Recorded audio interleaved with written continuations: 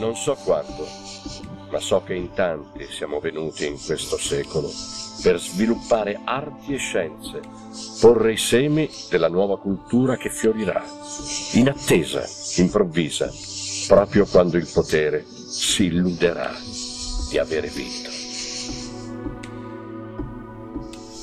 L'infinità dell'universo, che consta di infiniti mondi e che appunto perché infinito non può avere centro, è tale che ogni suo punto in esso è al tempo stesso centro e periferia. Dico dunque che nelle cose è da contemplare, se così volete, due principi attivi, di modo. L'uno finito, secondo la ragione del finito soggetto, e questo muove il tempo l'altro infinito, secondo la ragione dell'anima del mondo, ovvero della divinità, che è come anima dell'anima, la quale è tutta in tutto e fa essere l'anima tutta in tutto, e questo muove in istante. Da ciò segue che nell'uno tutte le cose sono indistinte e che quelle diverse e contrarie tra loro, nel principio semplicissimo, sono una sola e medesima cosa, come spesso mostrammo il massimo coincidere col minimo al principio e alla fine, giacché quello che è l'estremo del caldo è il principio del freddo, l'estremo del male principio del bene, la fine delle tenebre principio della luce.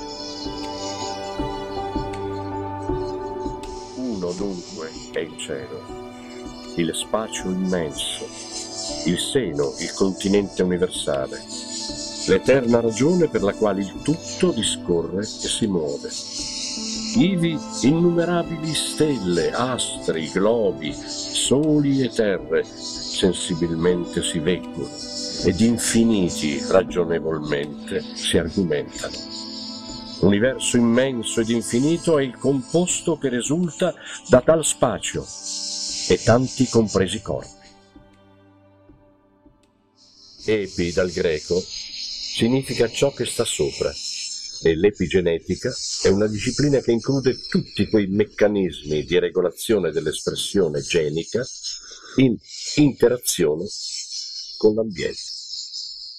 L'epigenetica è una disciplina che studia come il corredo genico di un individuo, fin dal suo concepimento, risponde al tempo e allo spazio. È una disciplina trasversale, multidisciplinare, un campo di ricerca informativo che può essere considerato un ponte, assieme alle neuroscienze, di collegamento tra la biologia e i processi inesplorati dell'uomo.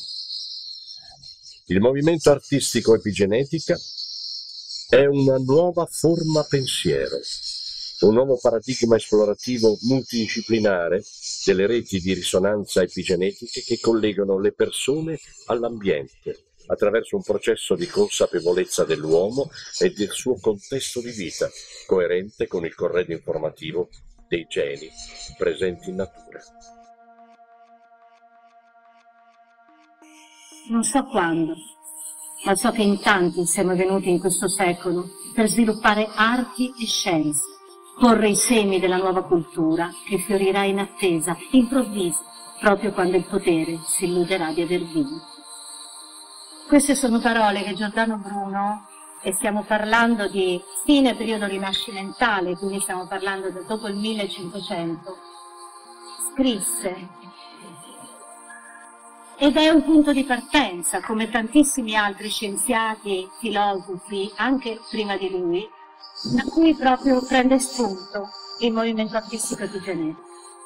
Una delle mission del movimento artistico è il supporto alla, chiamiamola community, dei bambini con disturbi neuropsicomotori e portatori invisibili di quella comunicazione che noi possiamo vedere, non possiamo capire, se non immergendoci e cercando di comprendere quello che va oltre una realtà che ci è data per certa, ma che in realtà poi ne contiene tantissime altre dentro.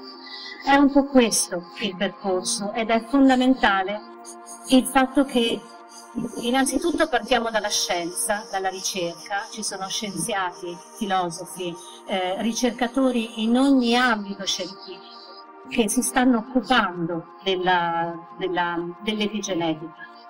E proprio il significato stesso dell'epigenetica ci dà la possibilità di indirizzare la nostra ricerca, ci fa capire dove indirizzare perché ciò che sta al di fuori, cioè al di sopra di noi, è anche ciò che non viene visto immediatamente. È ovvio che a parte gli scienziati, a parte eh, il mondo della scienza, dove ci sono appunto, c'è il mondo artistico, e quale miglior veicolo può essere l'arte, l'arte intesa a 360 gradi. Addirittura alcune ricerche scientifiche sono forme d'arte, perché attraverso la scienza noi scopriamo delle cose che anche visibilmente sono meravigliose, sembrano dei quadri astratti pazzeschi, ma anche solo osservare la natura al microscopio, no? andare oltre, eh, quella, andare proprio a cercare, sono disegni, sono, sono quadri.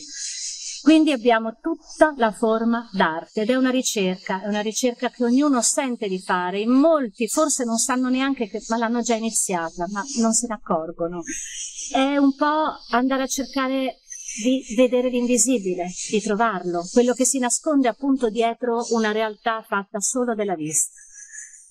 Ci sono tanti modi, c'è la letteratura, che è un messaggio importantissimo perché la parola è il principio universale per cui noi possiamo comunicare, ma ci sono tantissime altre forme di comunicazione che sono eh, tutte le forme artistiche. Dalla... Noi siamo un po', dobbiamo considerarci un po' una sorta di passaggio, no? una sorta di, di ponte che però non viene solo attraversato da queste informazioni, viene plasmato attraverso il pensiero di ognuno di noi e si rivela poi in una forma artistica che può rivelarsi nella mano di un, di un pittore, può rivelarsi nella, nella, nella, nel suono, perché nel suono, così come il suono si trasforma in immagine, questo grazie anche alla tecnologia che ci porta ad avere la possibilità di indagare più a fondo, no? di non fermarci alla superficie, ma riuscire a scoprire quanti cunicoli ci sono dentro questa superficie, perché ci sono dei mondi sovrapposti all'interno di altri mondi.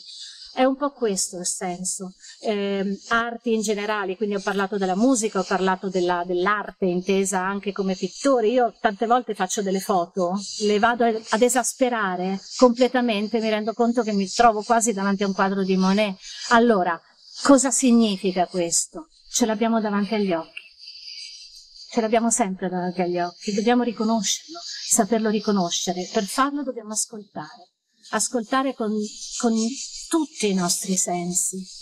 Dobbiamo tornare un po' alle origini, anche forse prima della nascita, dove eravamo un nucleo di energia, perché tutto è energia. Stiamo parlando di energie. Quindi è vero che è astratto, ma è estremamente concreto e la possiamo percepire. A tutto, tutto, tutto quello che è intorno a noi ha un'energia che viaggia ed è tutto collegato. Quindi smettiamola di pensare al singolo, ma apriamoci perché in qualche modo facciamo tutti parte dello stesso insieme. Perciò tutti gli artisti, tutti coloro che hanno voglia di esprimersi, che sentono la necessità di andare oltre e quindi di, di, che hanno già iniziato questo percorso, raggiungeteci, ehm, aderite al movimento artistico epigenetica perché troverete la vostra casa, avete un palcoscenico in cui poter raccontare e far vedere la propria visione del mondo, le, proprie, le vostre scoperte, perché no, e, e dare comunque un contributo a tutto questo.